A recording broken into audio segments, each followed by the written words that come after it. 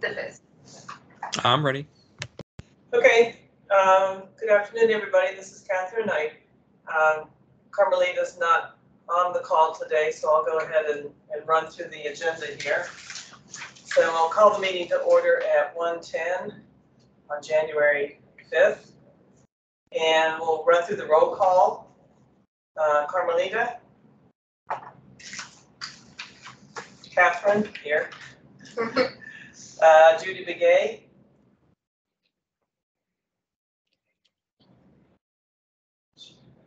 She said she was going to be, I but thought so. yeah. Uh, Frank? I'm here. Corey? Here. Meredith? Here. Beth? She said she wasn't gonna make it. Okay, so we do have a quorum? or- Yeah. Okay. Any, anybody else on the call I missed? Okay, um. Okay, the public participation, is anybody from the public dialed in on the call today?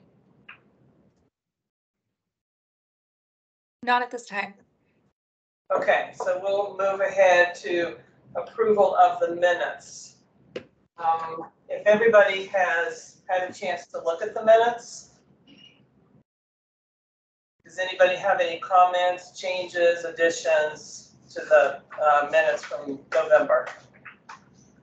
I don't have, um, well, actually, I, I went through it and I, I couldn't remember everything that was talked about and the meetings are quite extensive and I was kind of wondering what the, the protocol was on that. Like if there was a, something that, um, didn't jive, I don't, I don't think I would be able to, um, reconcile that with what I can remember from the meeting. So do we just, um, assume that the, the minutes are all correct? Um, Same, you know, they, yeah, it's been a couple of months, but I, as I read through them, I just like, same, like, that's pretty much what I remember we talked about, um, you know, the, the meeting was kind of long and there was a lot in the minutes. So unless somebody can, really wants to change something, then I would go ahead and ask for somebody to approve the minutes. I, I move we approve the minutes. Okay, thank you. Do I, hit- do I have a second?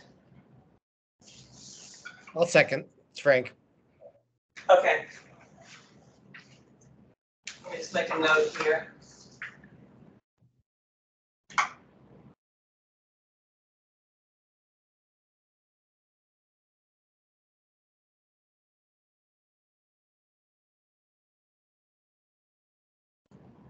Okay, we'll move on to um, item number five, which is the reports discussion items. And we'll turn this over to you, Richard. Absolutely. Thank you. And thank you, board.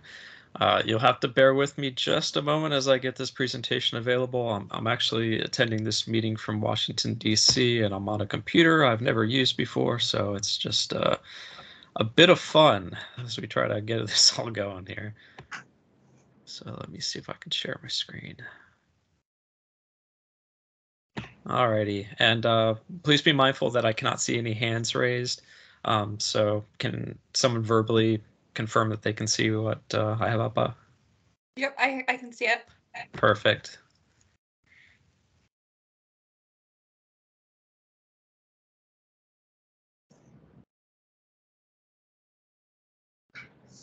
Alrighty, so we have our director's report for January 5th, 2023. Again, I am Richard Tutwar, the interim library director, and I'll go ahead and get on to it. So first off, I will not be interim library director for too much longer. I'm happy to confirm that our second round of recruitment for the new library director was successful, and I'm happy to communicate to you all that Linda Tilson has been selected as the new library director. Uh, Linda is coming from Eagle, Colorado, and has 22 years of experience as a library director. She recently served from 2013 to present as the Eagle Valley Library District Director over in Colorado. Uh, her start date is a bit up in the air. Right now, what I have in front of me is the 21st of February. Uh, she'll begin her uh, tenure here remotely, uh, and then later in March she'll be moving in person. I, I think that's just the logistics of getting moved, you know, in a in a bit of a challenging weather time. Um, I'll have more of a bio, you know, to come, but uh, I can share that she previously lived in Tucson and has also worked in Phoenix. Um, she comes from a resort town also, so some of the unique geographical challenges that uh, Flagstaff has, I'm, I'm sure she is up to up to the challenge. So we're very excited for that. Um, I will be serving as interim, you know, until she comes in. So you'll have to put up with me for one more board meeting. Um, but yeah, we're happy to get that moving forward. Is there any questions before I move forward?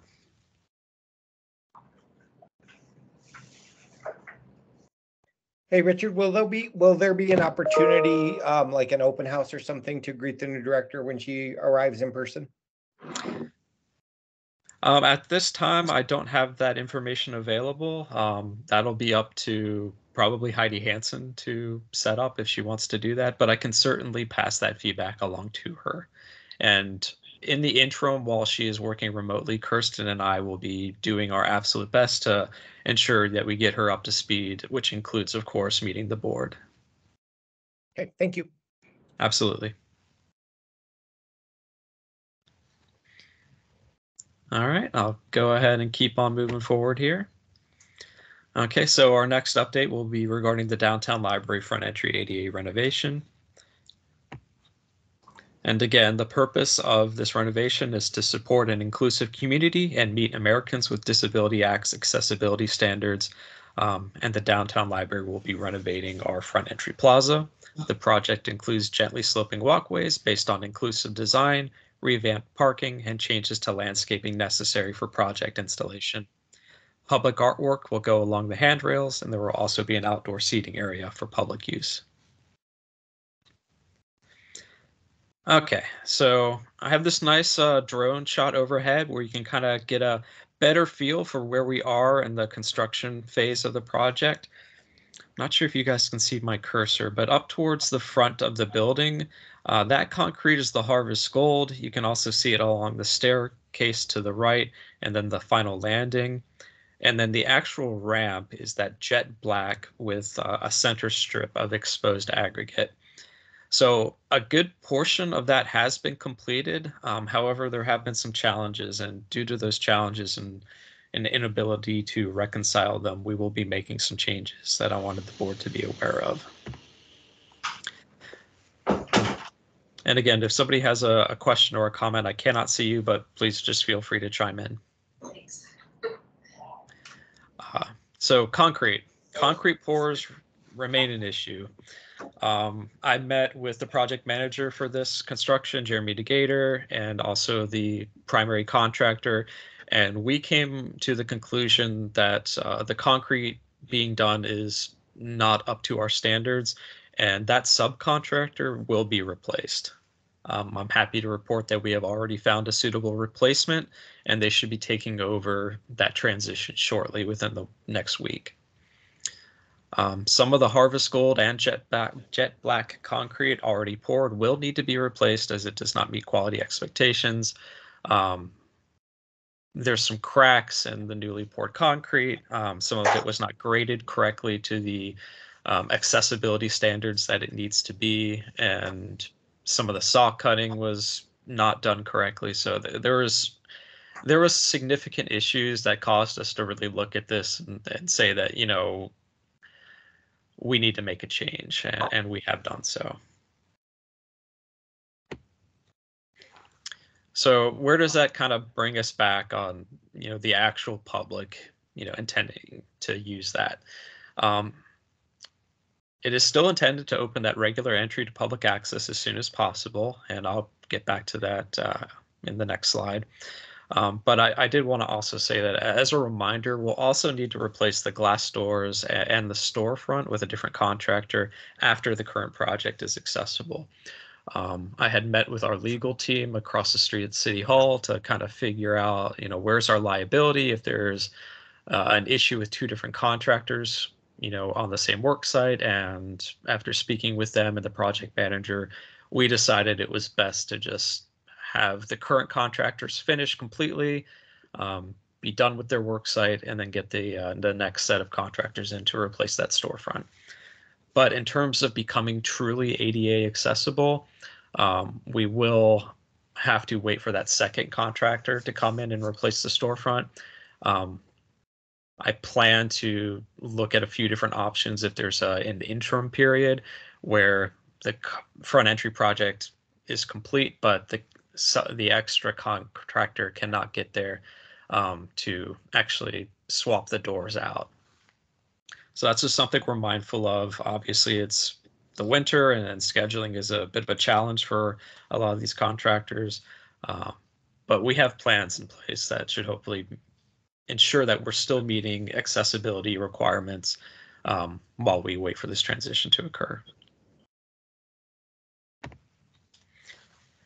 And that brings us to scheduling. Um, so obviously with the concrete issues and the weather as well, we uh, unfortunately had an issue where we lost a week of work because the uh, the contractors all contracted COVID. Um, our end date of January seventh, which is this Saturday, is no longer realistic. That that simply is not going to happen. Um, so I. This actually says we are in negotiations, but that negotiation negotiation has happened from when I wrote this director's report. Um, we went over scheduling and came to an agreement with the contractors that we will move to a new target end date of February 3rd for them to finish their work. Um, that being said, we're mindful that Flagstaff weather does kind of whatever it wants, um, as I'm sure you all know. So uh, I would not be surprised if that moves into mid-February, but that is that is our new target date that we're shooting for. Hey, Richard, this is Catherine. Mhm. Just- Is that for the entire project to be finished by February third, the railing and the everything? So that will be making sure that we are accessible to the public. Um, when we had negotiations, uh, the contractors were hoping that they could basically open up one side of that front entry because there are two ways to go up to it, and then have the other one much closer along Aspen, you know, continually walled off while they worked on it. Um, but you know, when we were in negotiations, that, that was not something that we wanted to do. Um, so this target date should be the vast majority of the construction being done. The only outstanding issues will really be landscaping um, and you know the the installation of, of plants and trees and what have you. Uh, because if we put them in during this time period, it is likely they would not survive the winter. But the the handrails should all be complete. The book rail, the concrete, all of that is intended to be complete. And then the parking lot would go back to parking over there? Yes. Um, it's likely based on just where they are in the construction stage that that Aspen area with the, the sidewalk that will still be inaccessible, but the parking lot should be, Okay, and that they should be starting on the parking lot uh, this coming week, is my understanding. okay, thanks. Absolutely. Okay, actually, before I continue into November uh, statistics, is there any other questions about the front entry? I know it's a big project with a lot of eyes on it.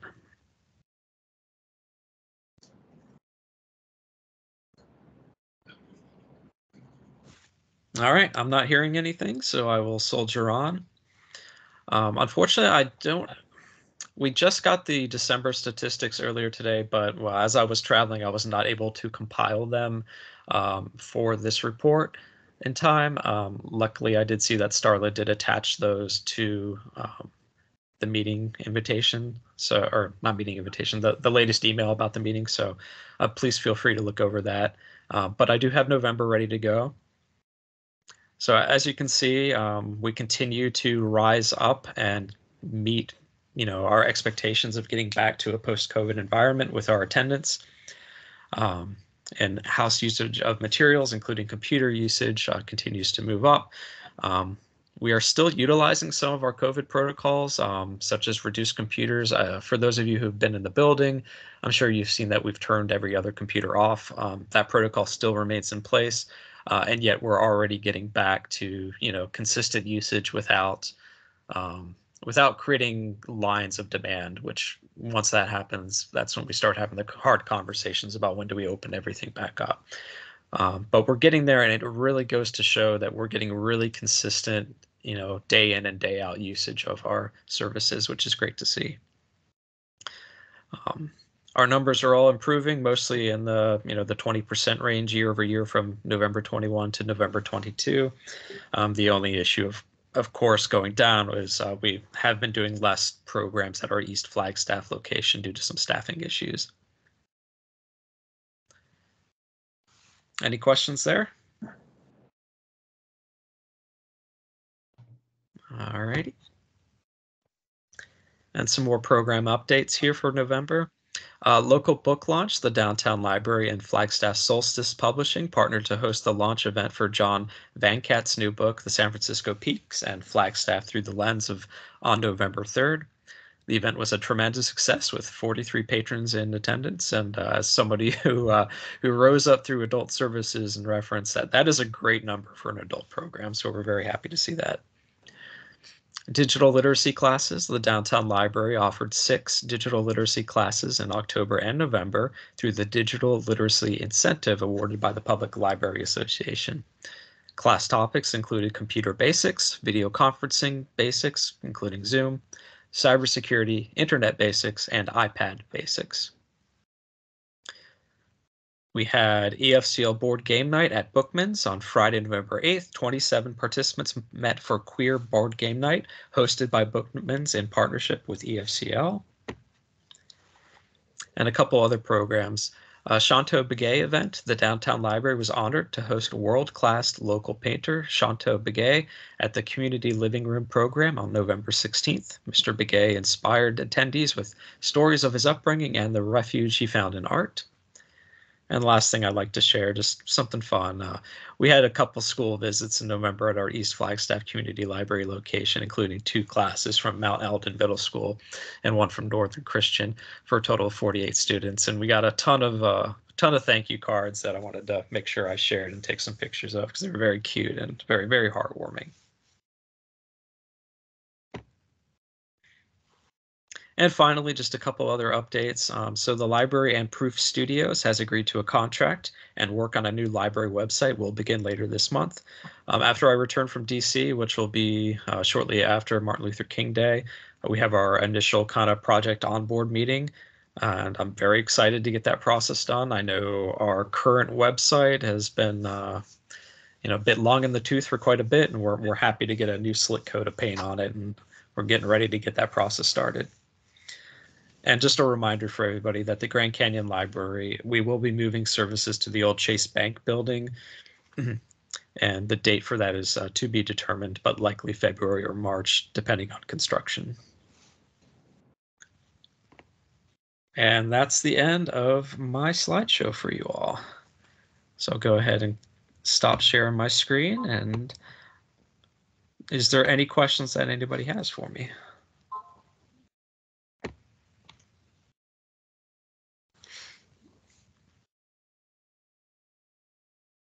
Alrighty, well, thank you. And uh, if those questions pop up, feel free to give me a holler. Thanks, Richard. Um, the next Thanks, thanks on, for Oh, sorry, I'm sorry. I was Uh-huh. talking to them as you. I was just saying, thanks, Richard, for um, running these meetings as, you know, outside your typical role for all these months. Oh, thank you. And you know, I'm happy to do it. I'm happy to look at this as a as a teachable moment for myself, and you know, build and develop new skills that'll help me serve my community better. um, the next item on the agenda is the new library board schedule. Should we call that up or?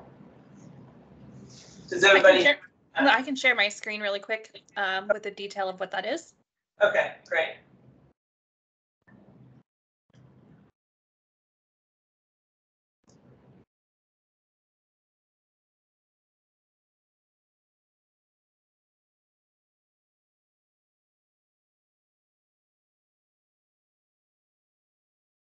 Okay, so here's the, is that supposed to say 2023 at the top? It is supposed to say 2023. Okay, okay. So here's the schedule, um, for this coming year and the topics. It looks similar, similar to how we ran last year's, uh, schedule. Sort of running through the, the main library and then getting updates, you know, from each of the outlying, uh, county libraries. And a vacation in July and then in December. Does anybody have any comments, questions about the schedule?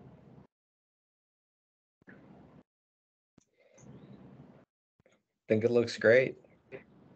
Yeah, it looks good to me too.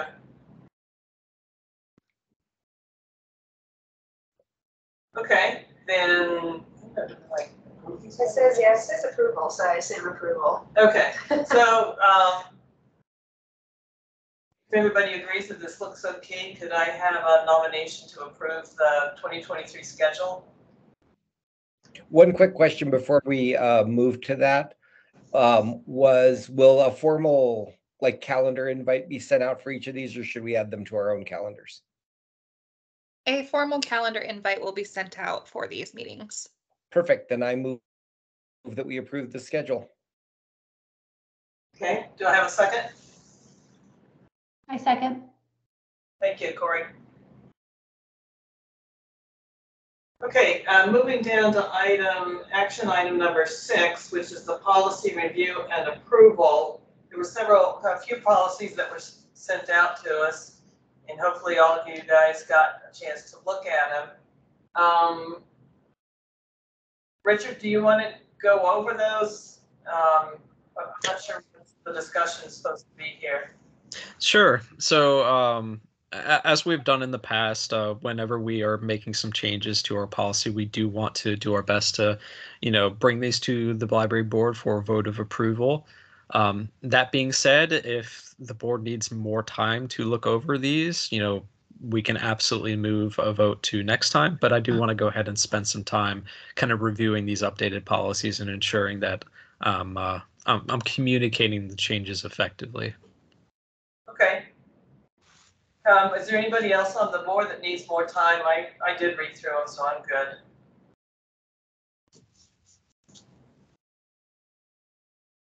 All right, Richard, I'd say go for it. All righty, give me just a second.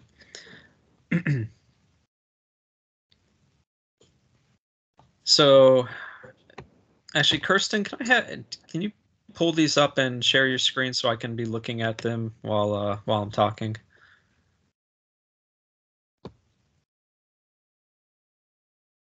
Should be back in Absolutely. Hold on one second. Which one would you like first? Let's go ahead and start with the circulation policy. That that's the one with the least amount of uh, meaningful change. One second. Thank you.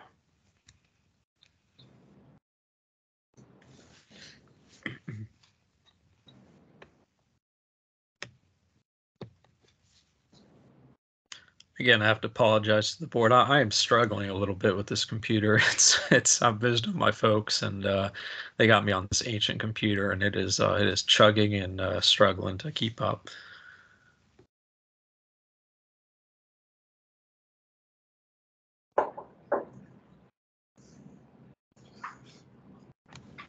Okay, can everyone see my screen? Yep, Okay. Perfect. Thank you, Kirsten. You can actually scroll all the way down to the bottom for this one. So for the circulation policy, there has been a very slight amendment, but as always, when we make a change to our policies, we want to go ahead and, you know, put them before the board for approval. Uh, so at the very end, the only difference in how this policy exists is that very last line of our interlibrary loans um, policy that is in red. Uh, this service is limited to full privilege library card holders in good standing with verified contact information, including a phone number and or email address. So the reason for this inclusion is we have instituted temporary cards and unfortunately with a lot of those temporary cards we have very you know transient individuals utilizing them. So we wanted to go ahead and unfortunately strip ILL privileges from those cards because we were having some issues with people requesting a lot of library books from other libraries and then just walking off and leaving the area with them. And when that happens, it unfortunately puts, you know, us on the hook financially for replacing those materials for the other libraries. And often those materials are not replaceable. So we have included uh, limiting, you know, interlibrary loans to just full privilege library card holders, which um, for those of you who may not have experienced it are, you know, those people who have come to the library have shown proof of residence and you know have a library account in good standing.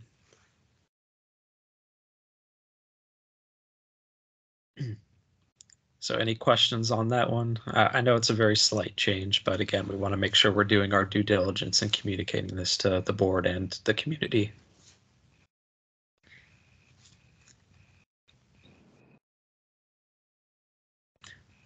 Okay, so Kirsten, if you could move to the vulnerable individuals policy.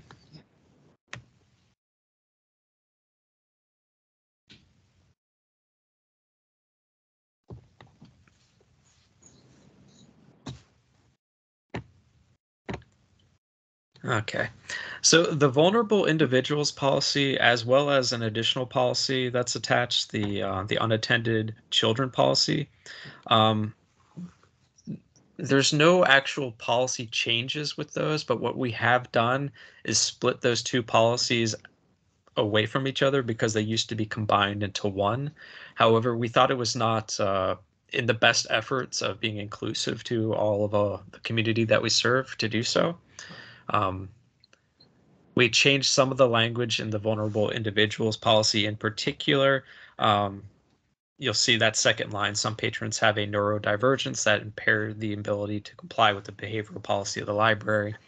So we have changed some of the language briefly and then split those two policies up, but the actual processes in place that the library utilizes have stayed the same. But again, I want to communicate as best I can to everybody that, you know, these are the new policies and these are why they are changing.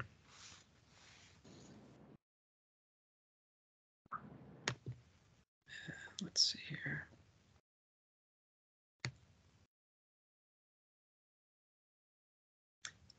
If you'd like, Kirsten, you can bring up the unattended children policy as well. Uh, although, again, I, I, think in that one in particular, none of the language has changed. It's just been split off from the vulnerable individuals.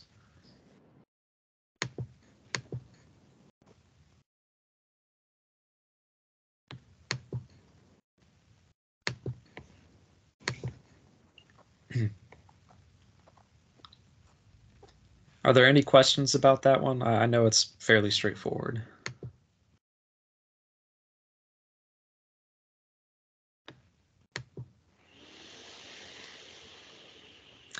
Okay.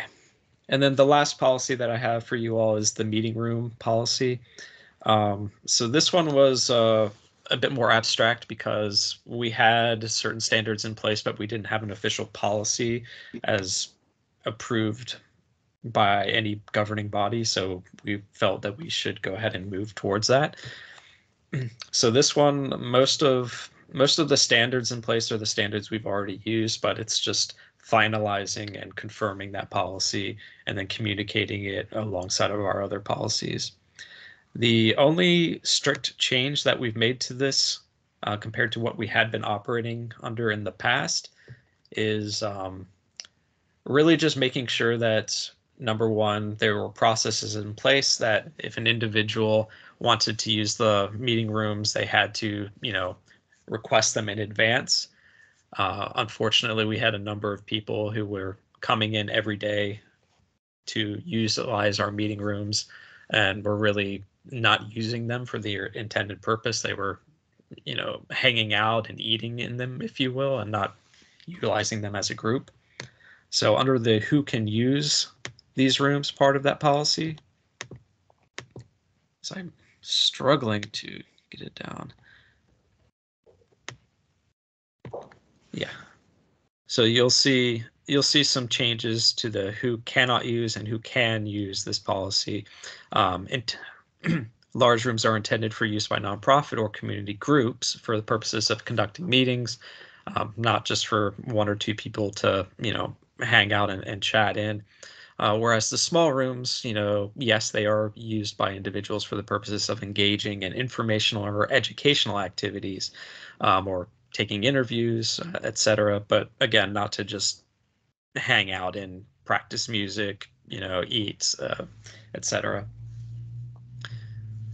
So that that's the biggest change to this policy. And under when can I use the rooms? They are available on a first come first basis. However, scheduling of the rooms must be made two days in advance. And again, that that is because we had a number of individuals coming in in the morning saying, "Hey, is the room available?" and then just really utilizing that room to the exclusion of others every single day.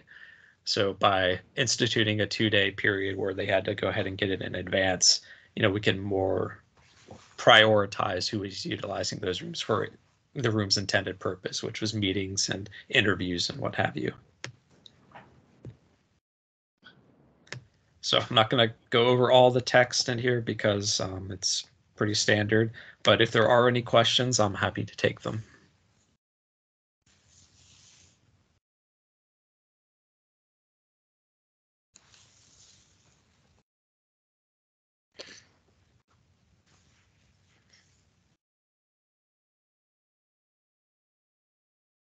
Okay. Um, again, if there are any questions or, or if the board is not prepared to make a vote on accepting these, we can absolutely move that to the next meeting, but I will defer to uh, the board on how they'd like to proceed. Does anybody on the board need extra time to read through them um, and vote next month? Or is everybody good with today? I just have one uh, clarifying question. Okay, And then otherwise, I think I'll be fine. Um, Richard, on the unintended, can y'all hear me? yep, Okay, We, yeah, we can Um, hear you. my, I'm getting error messages on screen. Um, on the unintended children policy, do I understand it right that if they're under 10, their parents need to be with them wherever they are in the library?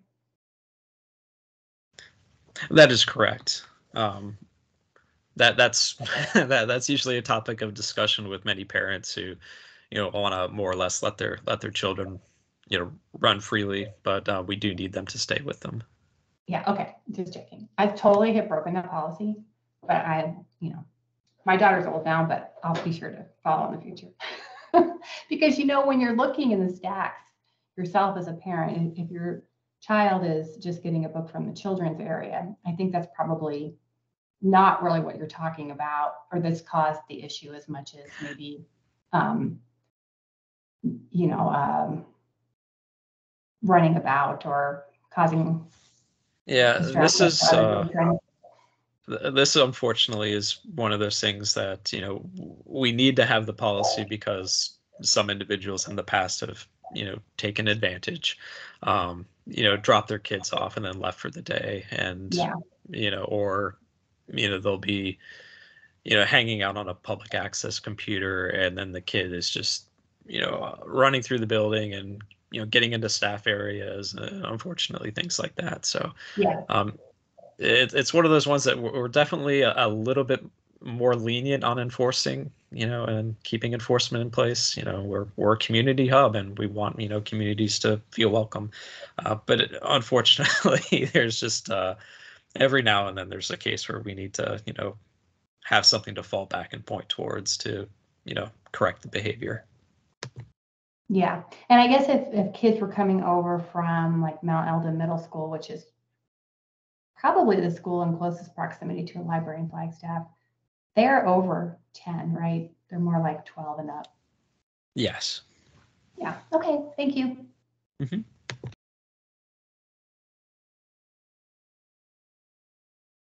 are there any more questions or any clarifications or time, time to review them?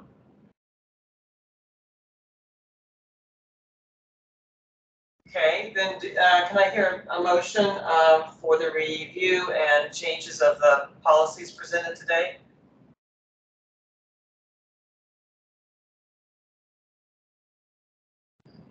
I move we approve the policy changes. Thank you. Does someone want to second that?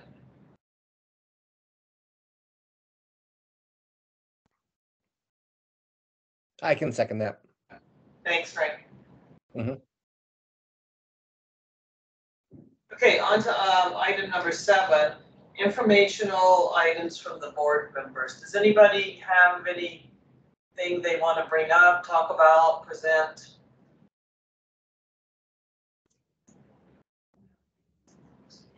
I think just mentioning, um, I, I, I would be curious to know what the results were of the little Christmas tree donation thing that the library did. Um, you know, my wife and I walked down there and we did a donation, but I was just wondering overall what, what, if the community did participate or what the results of that were, because it was kind of a cool idea. You know, I, I don't actually know. Mary Corcoran, our librarian in our reference team, is the one who put that together. So all kudos go to Mary. Um, but I'm not sure. I'm not sure if anybody participated or not. I'll have to to circle back to to her when I return. Okay, thanks.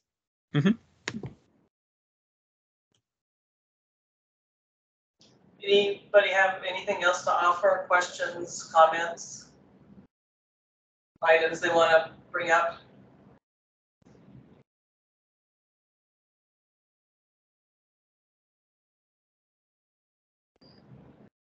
Okay, then we'll move on to number eight, agenda for future meetings. I guess we pretty well covered that when we looked at the schedule. So next month, I think was the uh, main library report, was that right? For next, uh, Yes. Yes, Yeah. that's correct. Okay, so does anybody want to add something to the agenda besides the uh, report we'll get for the main library?